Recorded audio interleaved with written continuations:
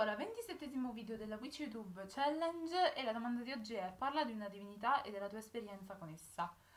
Allora, eh, visto che eh, bisogna scegliere una divinità, non scelgo Ecate, non vi preoccupate, non scelgo Ecate questa volta. Um, allora, eh, questa, la divinità di cui voglio parlare oggi è eh, Pan, perché è la prima divinità maschile che è venuta eh, a presentarsi, diciamo così, nella mia vita.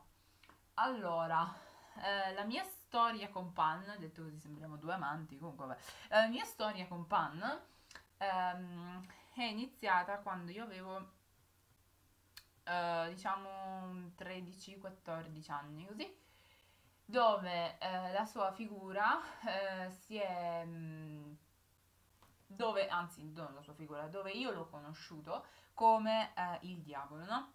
Ovviamente io mi sentivo sempre le mie le storie sul diavolo, su cose male, su cose bene, bam, e ho cominciato a provare una qual certa uh, affezione per questa um, creatura, chiamiamola così, um, per questa... Um, per questo personaggio, ecco. A notare che io non sapevo la differenza ancora fra il diavolo, Satana e Lucifero, per me erano la stessa identica cosa, ma non importa. Quindi per me Uh, a me quello che faceva più che mi affascinava forse di più era questa dualità, no? Il fatto che fosse, soprattutto per quello che riguarda Lucifero, una divinità, mm, una divinità, scusate, un personaggio duplice, no? Perché comunque era il più bell'angelo di tutti e poi è arrivato a cadere e diventare il più malvagio di tutti e bla bla bla. E poi tutte le varie leggende relative comunque al diavolo, relative a tutte le sue storie, quindi passiamo eh, dalla storia con Jack O'Lantern che ve l'avevo raccontata eh, nella YouTube Challenge J come Jack O'Lantern, magari vi lascio il link qua sopra, sia alle altre leggende, ad esempio del mago Merlino, eh, della nascita del mago Merlino, pardon, eh, e, di altre, e di altre cose. E mi ha sempre, non so, affascinata però al tempo stesso anche mi metteva un po' paura perché comunque è una divinità, cioè una, dai questa divinità, un personaggio, una figura comunque molto nera, diciamo così, nel senso che è molto comunque malvagia, eccetera, eccetera. E um, poi ho scoperto, diciamo, il perché il per come il diavolo fosse, come fosse nato, quindi dalla figura del dio Pan, e ho cominciato a leggere qualcosa di Pan, ho cominciato a interessarmi di lui e sentivo una qual certa affinità, no? L'ho messo nel mio pantheon, diciamo così, da subito, da quando ho iniziato questo percorso, ehm, che sono un anno e tre mesi, eh, da subito, e poi lui venuto da, ah, è venuta la chiamata. E tale chiamata è venuta, ehm, so- è avvenuta in sogno, dove eh, ovviamente ve lo racconto in maniera molto leggera, cioè non mi racconto tutti i particolari, comunque dove lui si è palesato sotto forma di diavolo perché ancora mh, forse nel mio inconscio mi avrebbe colpita di più, for- forse inconsciamente lo collegavo ancora comunque a quella figura lì eh, più che alla sua originale. Comunque è venuto in forma di diavolo, diciamo, e um, mi ha portato nel suo regno tramite una porta segreta. Mi ha fatto anche vedere come uscire dal suo regno, ricordandomi che comunque eh, pochi sapevano dove era e quelli che sapevano dove era non riuscivano mai a uscire. Mi ha fatto vedere in pratica sia l'entrata che l'uscita, diciamo così. Um, e mi ha lasciata con una, con una frase che ricorderò sempre, eh, che adesso non cito, eh, però che me la ricorderò, che ce l'ho impressa nella memoria, Comunque praticamente dove mi, ehm, mi invitava a seguirlo praticamente, no? Mi invitava a tornare da lui e a seguirlo. E io mi sono svegliata con un sorrisone ehm, e mi ricorderò sempre che sono andata dai miei e poi quando sono andata a trovare mia zia da mia zia sono andata da loro a dirgli che praticamente avevo sognato il diavolo che era mio amico, no? E li ho lasciati un po' così, un po' così, senza stargli a spiegare la simbologia così. E lì c'è stata la, la chiamata e ho lavorato con Pan eh, diverse volte.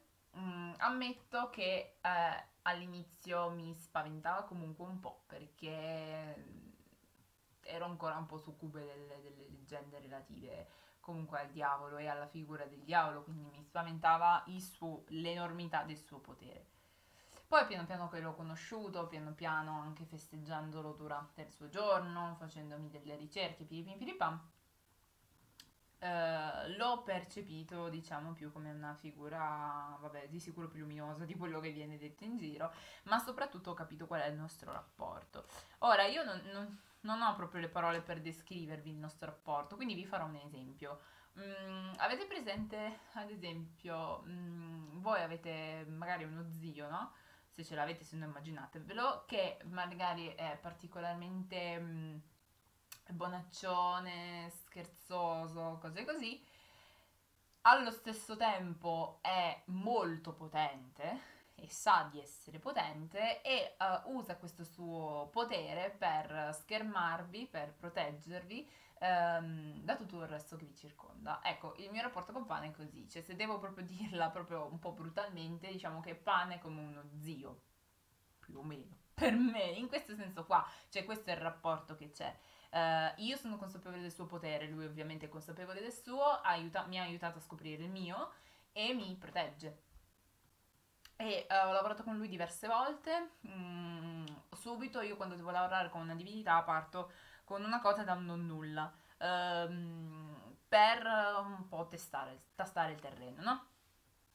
E infatti uh, diciamo che comunque mi ha sempre dato una mano e ho capito come lavorare con lui nel mio caso. Ovviamente non è che se qualcuno di voi adora Pan, ovviamente sarà diverso perché il, il rapporto con, tra voi e lui è diverso, ma nel mio caso mh, mm, ho capito che quando chiedo il suo aiuto lui interviene solo quando c'è veramente necessità.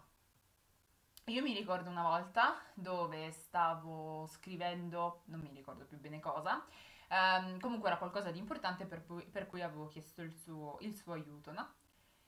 E mi ricorderò sempre che eh, scrivevo e a un certo punto mi sono ritrovata a leggere poi alla fine come era venuto questo testo, diciamo così, che avevo scritto mi ricorderò sempre che ho notato come certi collegamenti eh, non fossero miei, perché non li avevo mai fatti e di sicuro non, non li avevo scritti io e lì ho capito come lavorare con lui. E mi ricordo mh, mm, di aver avuto dei blackout, cioè nel senso io non c'ero più, la mia mano continuava a scrivere, io proprio non c'ero e nel momento in cui ritornavo vedevo che avevo scritto qualcos'altro e quindi mi, sono, ho, mi sono resa conto di come lavorare con lui nel mio caso. Praticamente la mia mente alza una barriera, diciamo, anzi lui fa alzare alla mia mente una barriera di modo che io proprio non ci sono e la sua energia attraverso di me compie quello che c'è da fare praticamente, quello che è necessario da fare.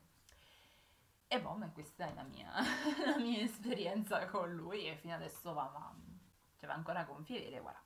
E niente, io vi lascio un bacione, vi auguro una buona giornata e um, se avete voglia di condividere anche voi eh, delle vostre esperienze con delle divinità, se avete domande, eccetera, eccetera, eccetera, sapete, potete scrivermi in forma pubblica o in forma privata. Le modalità già le sapete, vabbè, qua sotto, sotto i post è la strega del lupo, come messaggio privato la strega del lupo, oppure direttamente a me. E niente, io vi lascio un bacione, vi auguro buona giornata e noi ci vediamo la prossima settimana con il video numero 28.